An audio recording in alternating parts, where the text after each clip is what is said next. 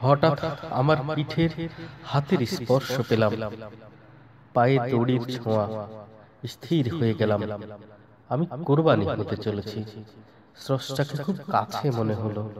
মনে হলো হাত বাড়ালেই আমার আল্লাহকে অনুভব করব। এই তো আর কিছুক্ষণ, কিছুটা মুহূর্ত মাত্র।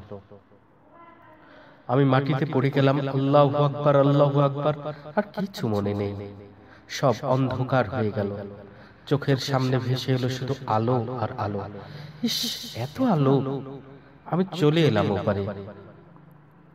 আমার স্রষ্টার কাছে।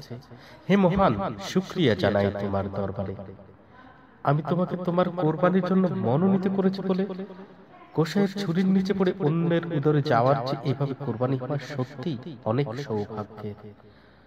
সুখের আনন্দ ভাসছি আমি। দূর থেকে দেখেছি শুধু আমার নিথর দেহটাকে। এখনও নড়ছে আমার পা কাঁপছে আমার শরীর মাংসগুলো ওহে মানব একটুখানি অপেক্ষা করো। দেহ থেকে আমার প্রাণটা বের হওয়ার একটু সুযোগ দাও।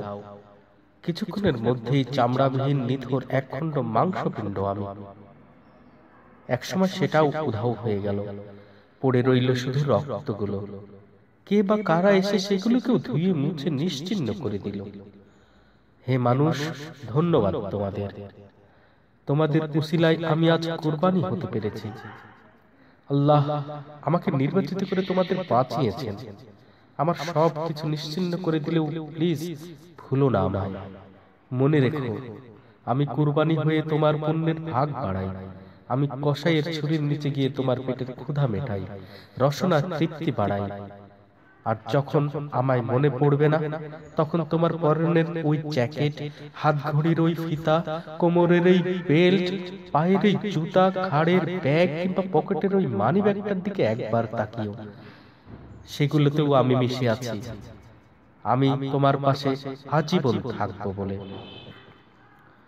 প্রিয় মুসলিম ভাই বোনেরা অশ্রুসিক্ত নয়নে আপনাদের কাছে আবেদন এই যে, যদি কোনো ভুল করে আপনাদের কোনো ফসল খেয়ে থাকি বা নষ্ট করে থাকি, তাহলে আমাদের গরু জাতি হিসেবে ক্ষমা করে দিবেন। আল্লাহর ওয়াস্তে মাফ করে দিবেন। আর কোরবানি মানে এই নয় যে আপনারা শুধু মাংস দিয়ে ফ্রিজটাকে ভর্তি করবেন। গরিব দুঃখী মানুষের মাঝেও একটু বিলাইয়া দিয়েন।